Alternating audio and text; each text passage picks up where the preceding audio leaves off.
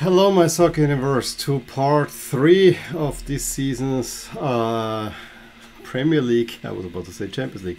Premier League jersey review. Yeah, three parts in. Again, I shuffled around a few more shirts for you to figure out, and I'm wearing this one. I'll wear West Ham, which will come in handy because we have two teams with very similar uh, color schemes in there. Of course, should know by now who those are, but if not, you will see very soon. Uh, again, how did I choose the jersey in this video? I took last season standings and then I went 1, 2, 3, 4, 4, 3, 2, 1 and every team with a number 3 next to it is in this video and then I sorted them somewhat alphabetically and that's why we start in Birmingham at Aston Villa, which is of course the other team that has uh, this maroon uh, light blue color scheme, the original team. They are the only Kappa team this in this year's Premier League. Um, and yeah, I'm not too hot on this one. I'm sponsor, I told you already with Everton, it's one of my favorite sponsors out there. I think Cazoo looks just perfect. This is a wonderful sponsor. Uh, I do like that they have this color scheme in there, but um, a little bit like this Umbro shirt, I find the way, and it's even more pronounced here, I find the way that the raglan sleeves connect with the back, this creates this weird point here, which to me does not look super attractive overall.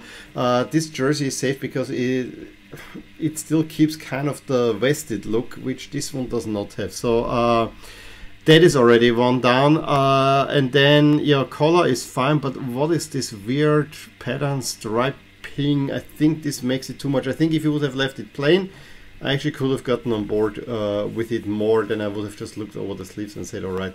But to me there's a little bit too much going on there. It's not one of my favorite my favorites but it's not bad per se as well. So I'm gonna go five stars here uh, much better. Similar with Burnley, but I think it's uh, they just chose the maroon in a way here. Pinstrapping. You cannot go wrong with pinstrapping. Minus points for the box, but other than that, uh, really pleasing, really nice, nicely done. Full color crest, though that would have been nice. You know, just add a little bit light blue, and I think uh, it doesn't look bad here either. I think it looks all very cohesive, to be honest. But just saying, uh, get the other color in there as well. I think my ideal would be if each of the maroon stripes was then in the center of it had also a light blue one. That would be even more perfect. But you know, nice looking shirt. Gonna go seven. Here, uh, the third jersey though is one of those. I mean, uh, Aston Villa has, has now a story with third jerseys that are kind of a little bit out there. What saves it, of course, for me is I always like navy. Uh, this very ivory color or whatever you know it's kind of it's not quite white but it's not quite yellow either um, yeah yeah it looks nice what I would have liked is maybe a reversal of the home jersey sounds something like that. The pattern is alright. Uh, it's a very pleasing looking jersey, but it doesn't look very Aston Villa to me. But I guess I'll go more on the pleasing side, and so I'm gonna give this six stars for that. Uh, if this was a team that had kind of one of these colors in the color scheme, this would be a much uh, higher rated shirt, that's for sure. Moving on to the next team, Crystal Palace, again with Puma, again a little bit out there. Um, and yeah, Puma last season, I did like those shirts, but many people did, did not. I actually do like what Vault are doing here with kind of the slanted red and blue stripes. I mean, it's not like this one here, it's kind of uh, really Barcelona. I like the slanted look a little bit. It gives some, something different. It also has this kind of weird taping effect in there by that the blue is outlined with kind of a darker blue. Uh, which you need kind of to make the blue a little bit wider because the sleeves are red. So kind of uh, balancing it all out. It's a bit out there. I still love the sponsor. The sponsor is very simple, though two lines, but even the, the upper W fits kind of nicely with the shirt overall and you can see even the angles are matching up. The angles for W match very, very, very, nicely with the angles of the uh, stripes. So that's a pretty nice touch. Um, it's definitely not everyone's taste. Uh, it's a bit weird, but overall I don't think it's bad. I'm also gonna go six stars here. But the other two shirts for Palace are a whole lot better, I have to say. Um, not only because of the plain design, you know, yellow with red, red and blue. I mean, this is a classic Barca away shirt, which will always please me. It's very bold, it looks very nice, and also the sponsor, you see the yellow outline, looks all great. But the coup de grace in many ways is that there is the eagle from the crest as an overall print next to the sash, uh, next to the uh, band. Awesome. Absolutely awesome. Uh, I love this shirt. Gonna give this 9 stars. It is really, really well done. And uh, third jersey um, does not stand much behind because uh, this is the kind of the original Crystal Palace look in white and light blue. So historically reference, which is perfect for a third jersey. And then I can even live with the discolored crest because you want it to kind of fit with the whole thing. And then you have the Crystal Palace. I mean, you have the the thing that uh, named your team is right in there as well. Great tribute. Everything that I want is in there. I'm not gonna say it's nine stars. I even like how the sleeves on one side are light blue and the other side are white. Those are two really great shirts. I gotta give it, I gotta give a whole lot of credit for Puma. The home shirt again is the one that is probably the most divisive one. Uh, maybe similar to what they did last season in, in a way. I, I really like them.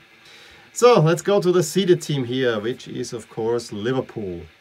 And yeah, Nike delivered something quirky. Second Liverpool shirt by Nike, and while the first one was uh, kind of, you know, don't upset anyone too much take a little bit red and then you add some uh, turquoise for a good measure it was you know what you wanted to kind of see this one takes a whole different approach. And to be honest I don't even dislike all you know we have a lot of diagonal bands going here. I even don't dislike this with the kind of more rosy red in there. Uh, it actually looks somewhat interesting. I'm not sure if it needed to have the flash pattern but yeah so be it. I'm also right with the, again, ivory uh, colored logos. What really gets me, and I know it's such a small detail, but it destroys the shirt for me because it makes no sense whatsoever, is what's here on the back. What is this dark green thing? I mean, the only thing I will connect, as we will see, is, is the um, away jersey it does not make any sense. It, it actually ruins the shirt because it's so random on there. Yes, the color scheme. Maybe this whole thing, instead of uh, this rosy color using some white, I actually think would have, in my opinion, looked better. But we can discuss uh, that. And if you've seen the video of the, uh, or if you know the 1920 shirt, I think if you put the swoosh and um, liverbird in gold, I think is awesome. This would be a way to make this jersey still a little bit out there, but a little bit more different. But yeah, I cannot say this is a great Liverpool shirt. It does not really look much like a Liverpool shirt, and so I'm sorry to uh, go three. I think Nike really, really has not hit uh, hit it well with Liverpool. I mean, the away shirt is almost everything I would love in a Liverpool away shirt.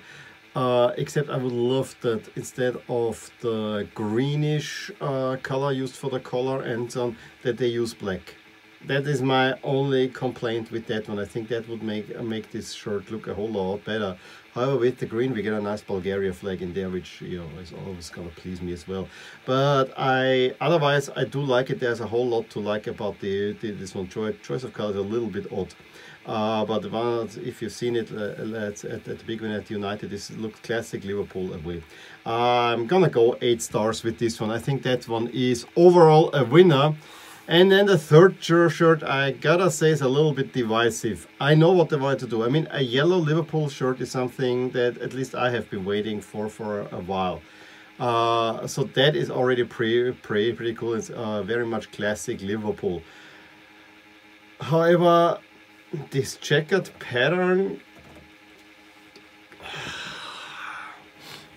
I have seen it all red then this shirt looks boring. I have seen it because they want to replicate, of course, the pattern that I think the fans use, like red and white checkers.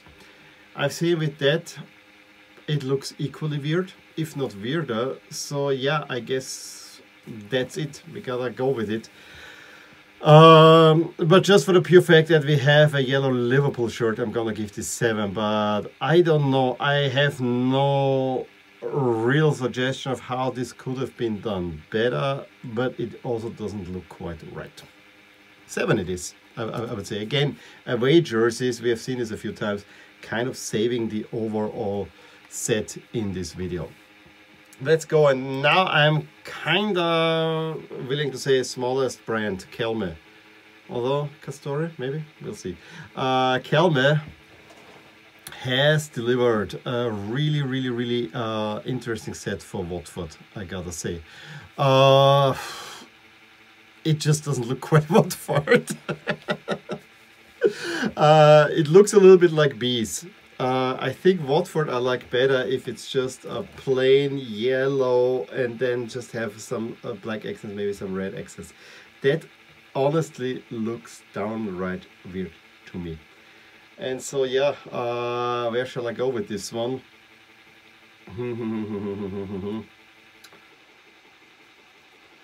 yeah, I'm gonna go down the middle, five stars for Watford here because I, it's not bad, but it's also not really great to be honest. So yeah, I think that is probably the right way to go here. Uh, let's look at the away jersey. Uh, uh, yeah, this looks more Watford. I actually think if you would flip-flop the yellow and the red, and that was your Watford home, I actually would like it a whole lot.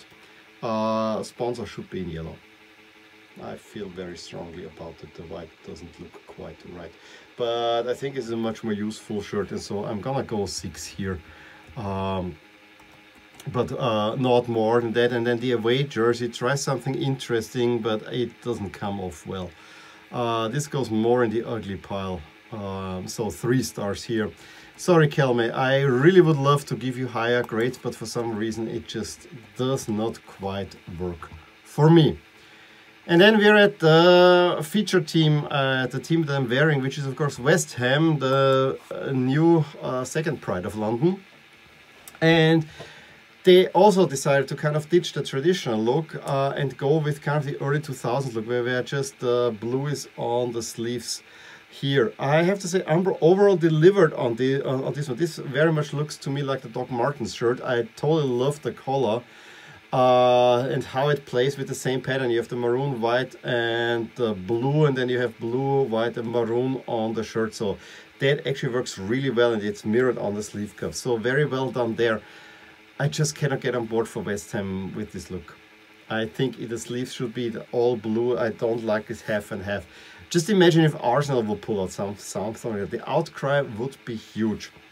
And so yeah, very well done. Sponsor, everything fits really, really, really well.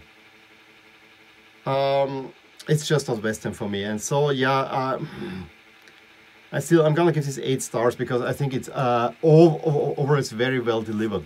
Uh, I, I like the away shirt because it has a kind of traditional look, uh, despite the um, uh, light blue stripes being uh, have, have having this kind of diagonal shading in there, and there's a little bit more going on, which I cannot really make out because not all there's not all shading there's also some solid blocks in there so kind of a little bit of fade effect um, deductions for the box. Other than that, pretty nice. Pretty, pretty nice. I'm also gonna go eight, eight, eight, eight this here.